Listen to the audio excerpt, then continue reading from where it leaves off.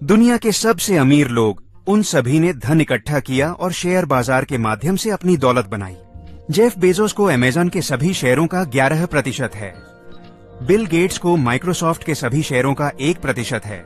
Warren Buffett, जिसे आज हम दुनिया के सबसे महान निवेशक के रूप में जानते हैं, उनके पास बर्कशायर हैथावे के सभी शेयरों का 16 प्रतिशत है।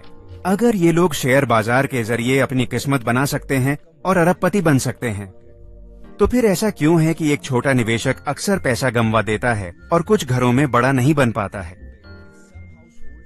शेयर बाज़ार को जुआरियों का अड्डा भी कहा जाता है।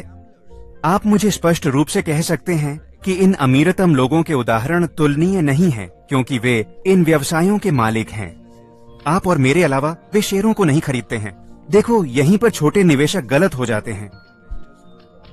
ये विभिन्न लोग उन्हीं शेयरों को रखते हैं, जिन्हें आप और मैं रखते हैं। लेकिन शेयरों को रखने का नज़रिया केवल शेयर रखना नहीं है, बल्कि व्यवसाय को रखना है।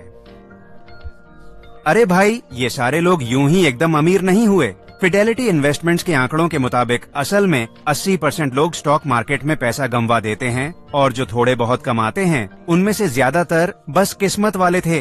वो कैसे स्टॉक मार्केट में लगातार कमाना है, इस प्रोसेस को नहीं समझते। लगातार लगातार ऐसा करना बहुत मुश्किल होता है।